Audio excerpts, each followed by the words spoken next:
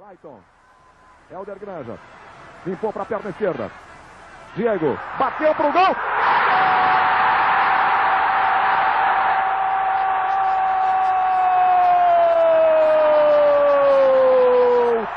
Um belíssimo gol de Diego para o Internacional.